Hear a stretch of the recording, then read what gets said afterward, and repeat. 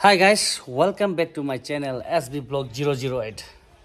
Guys, मैले पहिला एउटा भिडियो अपलोड गरेको थिएँ जुन भिडियो बर्मामा हामी भाग्य नेपाली भाइसँग हामी घुमघाम घुमफेर उहाँको भेटघाट साथै उहाँको यसो घुमेर हामीले भिडियो बनाएका थियौँ त्यो भिडियोमा मैले पहिले अपलोड गरिसकेको थिएँ त त्यो भिडियोमा धेरै कमेन्ट्सहरू आयो भ्युवर्सकोबाट धेरै ब्याकग्राउन्ड साउन्ड भयो आवाज बोलेको केही आएन भनेर मलाई धेरै कमेन्ट्स आउँदाखेरि आज भिडियो फेरि मैले त्यो त्यो- भिडियोको अहिले ब्याकग्राउन्ड साउन्ड चाहिँ पुरै हटाइदिएर रियल भोइस कभर गरेर अहिले मैले भिडियो अपलोड गर्न जाँदैछु। भिडियोलाई जतिसम्म हुन्छ सेयर गरिदिनु र एसबी ब्लगलाई पनि सब्सक्राइब गरिदिनु भन्ने पूर्ण आशा राख्दैछु। जस्तो कि हामी एसपी ब्लग जिरो जिरो एटमा अहिले नेपाल भारत होइन बर्मामा आएर यो भिडियो बनाउँदैछौँ। जुन हाई गाइस अब हामी घुस्यो बर्माभित्र। बर्माबाट लेखिका बहिनी कवि यत्री बहिनी। यहाँ अब भाग्य नपाने जति यहाँ है उहाँबाट कमल नेउपाने यहाँ विवेक नेउपाने यहाँ श्याम पौडेल सरको नाम त के प्रकाश प्रकाश। प्रकाश। प्रकाश के पो थियो बस्नेत बस्नेत प्रकाश बस्नेत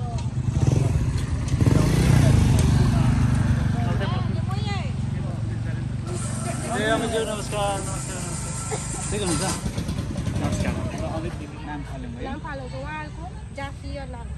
कति हुनुहुन्छ तपाईँहरूको यहाँ नेपाली भाषी चाहिँ यहाँ? धेरै नेपाली भाषी थुप्रै छौँ।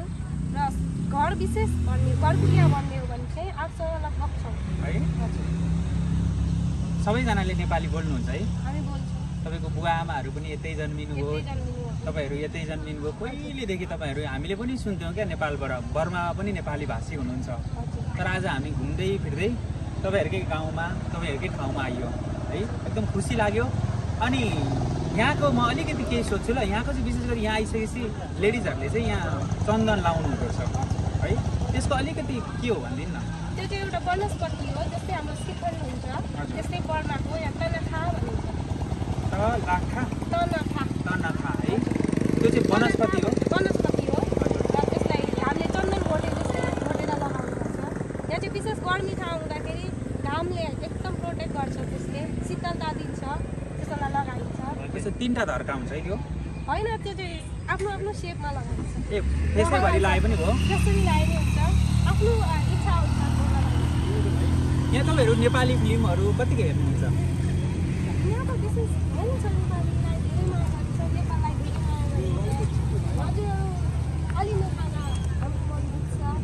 पनि अलिनो खाए जस्तै महसुस गर्छौँ। नेपालमा भूकम्प आउँछ हामी भूकम्प महसुस गर्छौँ यहाँ त्यस्तो छ हाम्रो। नेपालसँग एकदम जोडिएको छ हाम्रो। भाषा मिल्छ भाषा मिल्छ भावना मिल्छ। भावना मिल्छ। तपाईँको नाम के भन्नुभयो? वन्दना गौतम। है। नेपाल चाहिँ जानुभएको छ कि छैन? नेपाल चाहिँ एकचोटि पुगेको। एकचोटि पुगेको। कुन ठाउँमा जानुभयो? विशेष त काठमाडौँ। काठमाडौँ है। पोखराहरू जानुभएको छैन? पोखराहरू पनि पुगेको। हो? यसो घुमतिर है। यहाँको चाहिँ बर्मामा आइसकेपछि हामीले हेर्नुपर्ने चिज चाहिँ के छ यहाँ? यहाँ त विशेष बुद्धावलम्बी हुँदाखेरि हजुर। धेरै स्तूप स्तूप भनिन्छ। चैत्य भनिन्छ। हजुर। त्यहाँ विशेष यहाँ चाहिँ धेरै त्यस्तै ठाउँहरू छ। यहाँको विशेष घुम्नुपर्ने ठाउँहरू भनेको नै चैत्यहरू हो। चैत्यहरू है। हजुर। जुन चाहिँ बुद्ध धर्म मान्ने धेरै हुनुहुन्छ यहाँ। हजुर। है। तपाईँहरू चाहिँ यहाँले त हिन्दू धर्मै मान्नुहुन्छ होला है। हामी हिन्दू। है। हामी हिन्दू मान्छ हिन्दू धर्म मान्नुहुन्छ। अनि दसैँ तिहारहरू सबै? हामी दसैँ तिहार पनि मन्दिरमा भेला भएर एक एकताको साथ मनाउँछौँ तिज मनाउँछौँ। तिज मनाउनुहुन्छ? मनाउँछ। व्रत बस्नुहुन्छ? व्रत बसिन्छ नवरात्र मनाइन्छ है। हजुर। अनि यहाँबाट जस तपाईँहरू नेपाल जान चाहिँ भारत हुँदै जानु पर्यो। कि फ्लाइटबाट पनि मिल्यो? फ्लाइटबाट नि मिल्छ। है। भारत हुँदै गए नि मिल्छ। त्यो अहिले बर्मामा चाहिँ अलिकति ठुलो रिक्स चाहिँ सैनिक शासनहरू छ है। सैनिक शासन हुँदाखेरि अलिकति रिक्स छ। रिक्स है। हजुर। अलिक छुट्याइदिनु भन्दैछ ए ल। ल हुन्छ हुन्छ। अब तपाईँले एउटा नेपाली गीत चाहिँ गाइदिनु पऱ्यो नि सक्यो। है? किनभने अब कहाँबाट आएर पनि यहाँ नेपाली गीत नसुनि त कहाँ हुन्छ त लु। कुन गाउनुहुन्छ केही न केही ल कविता केही न एउटा पाठ त सुन्नु पऱ्यो नि त दर्शकलाई पनि अब। है?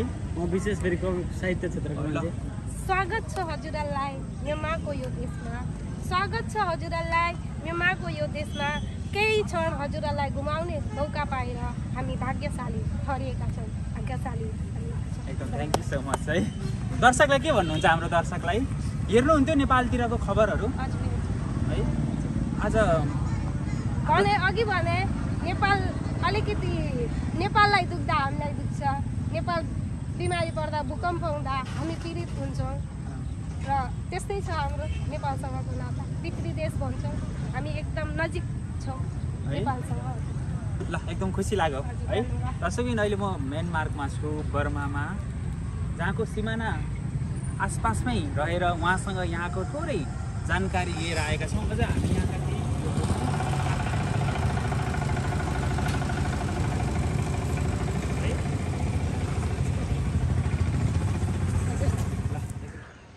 है? बुद्धजीको स्ट्याचु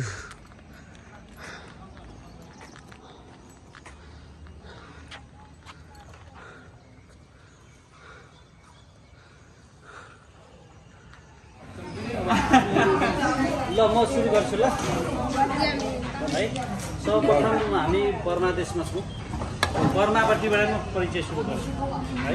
म्यानमार म्यानमारबाट। म्यानमार अब अखिल म्यानमार जुन धार्मिक सङ्घ भनेर एउटा संस्था छ। त्यो समाज हजुरको नाम चाहिँ के अरे? समिति त्यो तम्बु शाखाबाट साहित्य विभागमा हुनुहुन्छ साहित्यकार पनि हुनुहुन्छ लेखक कवि पनि हुनुहुन्छ श्रीमान दशरथ घिमिरेज्यू हुनुहुन्छ। कुनै शाखाबाट हुनुहुन्छ अमर घिमिरेज्यू साहित्यकार हुनुहुन्छ। यो शाखाको सचिव पनि हुनुहुन्छ। धार्मिक शाखाको वन्दना गौतम लेखिका निबन्धकार बहिनी हुनुहुन्छ। र उहाँको थपक्कै दिदी माइली। बहिनीको नाम मलाई अब यसरी उहाँहरू अहिले म्यानमारबाट हुनुहुन्छ है। अब हाम्रो चाहिँ धेरै सालदेखि अब एकदमै कार्यक्षेत्रमा साहित्यदेखि लिएर अब उहाँहरूले हामीलाई यता आउँदाखेरि धेरै कार्यक्रमहरू हामी पहिला जो यो सैनिक शासन थिएन है हामीले धेरै विभिन्न कामहरू गऱ्यौँ उहाँहरूको छत्र छायामा यहाँबाट आएर उहाँबाट आएर हामीले यसो आदान प्रदान भयो भने अहिले विशेष गरेर यो सैनिक शासन लागेर हाम्रो त्यति साह्रो भेटघाट थिएन। धेरै वर्ष पछाडि हामी भेटघाट भयौँ है। अनि अब म यताबाट सुरु गर्छु हजुरहरूलाई। यहाँ हुनुहुन्छ भाग्य नेपाली तातो खबर नेपालबाट त्यो विश्वले हेर्ने एउटा नेपालको एकदम अलमोस्ट जर्नलिजम जर्नलिस्ट हुनुहुन्छ पत्रकार हुनुहुन्छ भाग्य नेपाली भाग्यले नै परिचय गर्दा गर्दै हाम्रो साहित्य विभागबाट म्यानमारको पनि भाग्यबाट हामीले नै अशोक दर्जी रमेश प्रसाईलाई जहाँ पुऱ्याउने उहाँ नै हुनुहुन्छ त्यहाँसम्म पुऱ्याउने। यस्तो हजारौँ मान्छेलाई त्यहाँ पुऱ्याएको छ। यसरी कमल नेपाल नेपाल पुऱ्याएको छ। नेउपाने। उहाँको तपाईँको भाइ? भाग्य नेपालीजीको भाइ। उहाँ पढ्दा उहाँ पढ्दा पछाडि लुकेर बस्ने एउटा संस्था हुनुहुन्छ पत्रकार त्यसरी नै विवेक नेउपाने उहाँको भाइ र उहाँहरू नेउपाने परिवारको हो भने अब हामी पौडेल परिवारतिर जान्छौँ श्याम पौडेल यहाँ हाम्रो मन्त्रीपुरबाट हुनुहुन्छ अहिले उहाँकै गाडीमा हामी यहाँसम्म आएका छौँ त्यसरी नै हुनुहुन्छ प्रकाश तपाईँ चाहिँ सेतै पौडेल हुनुहुँदो रहेछ होला उहाँ हाम्रो त्यहाँबाट लिएर मणिपुरदेखि लिएर उहाँ नेपालसम्म हुनुहुन्छ उहाँको। र म चाहिँ तपाईँहरूलाई म राम्रै गएको ठ्याक्कै मैले पाएँ। हजुर चाहिँ मैले पाएँ। अनि होइन यो चाहिँ म्यानमारकै अरिजिनल हो नि। राहुलजीसित थुप्रै छ। आएछ। एकदम हजुर। अनि त्यसले गर्दा बसेको छ। के छ अवस्था? भन्दै उहाँ मुटु छाम्न आइपुग्नु भयो अब मणिपुर आइसकेपछि तपाईँ मोरेसम्म जानु भने भोलिको दिन चाहिँ बर्माको चारवटा स्तूपा मध्येको एउटा ऐतिहासिक स्तूपा प्लस तोमु सहर। म यहाँहरूलाई देखाउन चाहन्छु। हामी श्याम दादा हामी चाहिँ यो सहरका केही भाग चाहिँ मोटरसाइकल गाडीमा घुम्यौँ। त्यस पछाडि आँखाले घुम्नको लागि चाहिँ यहाँको टावरमा आयौँ है। यो ठाउँ आउँदाखेरि चाहिँ हामी घु- हामी मात्रै घुमेर कहाँ हुन्छ त? अब सबै विश्वभरि रहनुभएका नेपाली नेपाली भाषीलाई पनि एउटा सानो क्लिप बनाएर यहाँको भिडियो प्रस्तुत गर्न मन लाग्यो। यो ठाउँमा चाहिँ आठ सय घरधुरी नेपाली भाषी हुनुहुन्छ। विशेष गरी बर्मामा दुई लाखभन्दा धेरै नेपालीहरू बसोबास गरेको देश हो यो। नेपाली भाषीहरूको ठुलो मात्रामा बसोबास गर्ने देश। यहाँनिर चाहिँ नेपाली भाषाको कक्षा एकदेखि दससम्म पढाइ पनि हुँदो रहेछ। त्यस कारणले यहाँ बस्ने बर्मिज नेपालीहरू जो चाहिँ यहाँका स्थानीय हुन्छ नि। उहाँहरूको हजुरबाउ कुराबाउ कुन कुन बाउ नै यहीँ जन्मिनु भएको रहेछ क्या। उहाँहरूले यति मिठो चार पुस्ता। यति मिठो नेपाली बोल्नु हुँदो रहेछ। कस्तो लाग्यो दादा? एकदम रमाइलो लाग्यो बुनिवर्सिन होइन? हजुर। बुनिवर्सिन बोलेर यहाँ दायाहरूसित सबै भेटघाट हुँदाखेरि उहाँको उनीहरू उनीहरूको वेलकमहरू अब वेलकमहरूलाई दिएको हाम्रो भिडियोमा आगे त्यसमै प्रस्तुत हुन्छ होइन। कसरी वेलकम गर्नुभयो हामीलाई धेरै खुसी लाग्यो। है। मलाई त यहाँनिर यस्तो आएर यस्तो सोचेको थिइनँ मैले है? यहाँनिर यस्तो यस्तो सामान पाउँछ भनेर हामीले सोचेको थिएनौँ यहाँनिर है। त्यो एउटा अलिक माथि गर है। सामान पाउँछ भने यत- यतिको सामान पाउँछ भने हामीले मलाई आशा लागेको थिएन। तर यस्तो सामान पाइयो धेरै खुसी लाग्यो। एकदमै खुसी लाग्यो होइन। तपाईँले चाहिँ यो ठाउँ यताभित्र छिर्नु भएको थियो? यताभित्र पहिला पनि छिरिसकेको थिएँ यताको है? छिरिसकेको थिएँ यो ठाउँमा चाहिँ मैले चाहिँ मेरो जीवनको फर्स्ट एक्सपिरियन्स बर्मा म देश म्यानमार देश मात्रै सुनेको थिएँ तर आज यहाँले भ्रमण गऱ्यौँ अलिक डर मर्दो सैनिक शासन भएको बेलामा आयौँ छ बजीभन्दा उता नै हामी बोर्डर क्रस गरिसक्नुपर्छ नत्र जे पनि हुनसक्छ। है त्यस कारणले एसपी ब्लग जिरो जिरो एटलाई सब्सक्राइब गर्नुहोस्। यहाँहरूले यहाँ आएका भिडियोहरू हेर्नुहोस्। हिजो अस्तिका पनि राम्रा राम्रा भिडियो छन्। त्यो पनि हेर्नुहोस्। हामी जाउँ होइन? ल पाइँदैन ल। धर्मशाला? नेपाली धर्मशाला छ? ल जाउँ। हजुरहरूलाई पनि साह्रै दुःख भयो है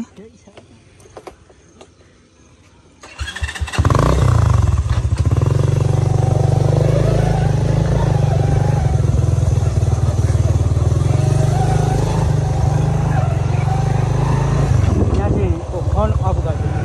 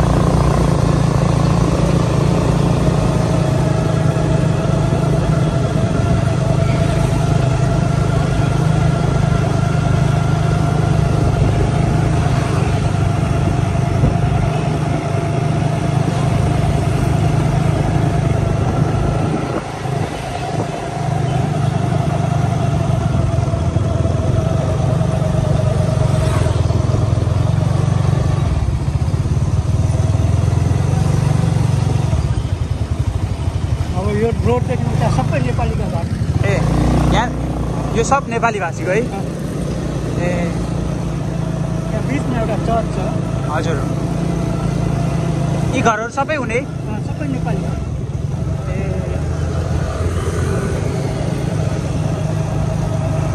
अब हामी हाम्रो धर्मशाला जाँदैछौँ। ए धर्मशाला होइन? नेपाली धर्मशाला। ए नेपाली धर्मशाला। यहाँबाट भित्र हो? जो पनि आएर बस्न सक्छ। ए यहाँ चाहिँ जो पनि आएर बस्न सक्नुहुन्छ होइन? जाति भाषा ऊ लिङ्ग भेद छैन। कहिले बनाउनु भएको यो चाहिँ? यो पाँच छ वर्ष ए एकचोटि मलाई रोकिदिनु त यहाँ।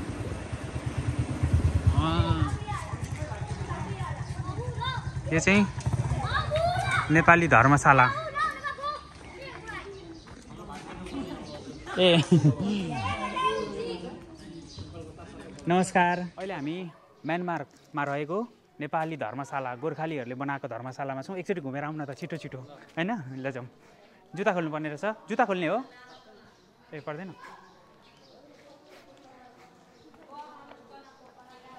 ल। हो? उहाँले।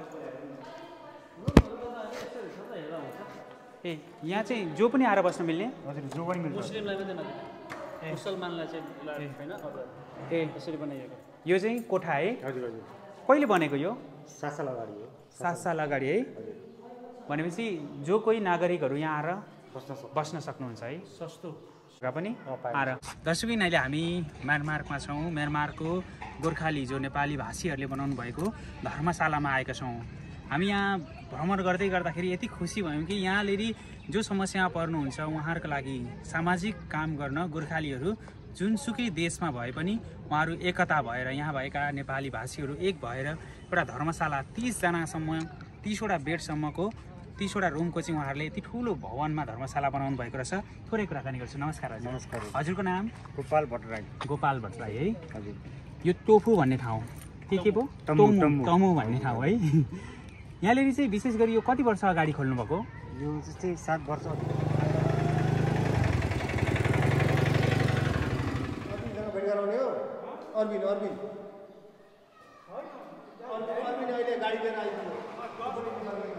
ल दस दस मिनट मात्रै छ भन्दैछ दस मिनट मात्रै हो? ल त्यसो भए जाउँ।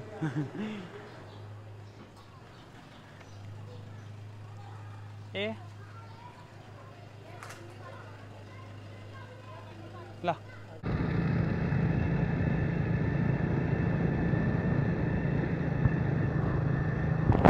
भाषा कतिको गाह्रो छ?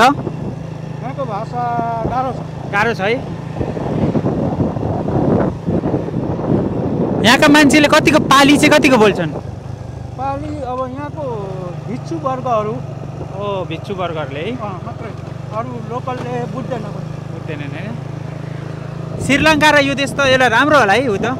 बुद्धिस्ट हो दुइटै उम्, बुझ्यो। यहाँ अब Christian thirty eight percent Christian. हो अब हामी पाँच दस मिनटमै निस्किनुपर्छ होइन त? हजुर। अब हामी यहाँदेखि पाँच मिनटमा बोर्डर पुग्छौँ। अब हामी पाँच मिनटमा बोर्डर क्रस गर्छौँ। ल। बाई। बाई खोइ।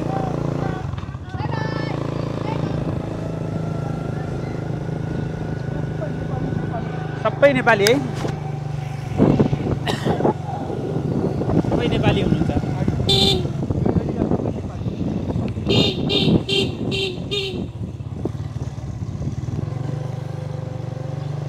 टाइम भएन नभए त घरहरू लगेर यसो बसेर।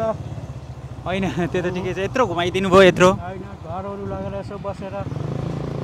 मजा हुन्छ।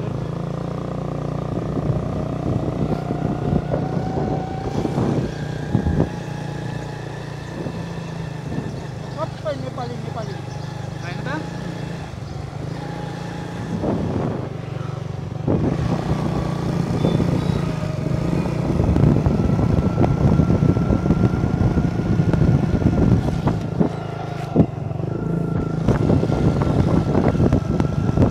विदेशको सामानहरू चाहिँ यहाँ कतिको पाउँछ किन्न? अब भित्र घुसाउन पाइनँ मेरो घर यही हो। ए हजुरको घर? यही हो है। घर चाहिँ? होइन? ए बहिनीको यता? ए नजिकै। नजिकै हुनुहुन्छ तपाईँ जन्मिएको यतै हो कि कता हो? यहीँ होइन त यही ठाउँमा।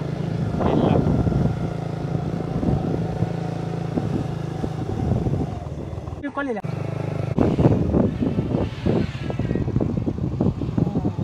आर्मी एरिया जान पाइँदैन है ए यता चाहिँ आर्मी एरिया जान पाइएन। अब यो आर्मी एरियाहरू जान पाइएन।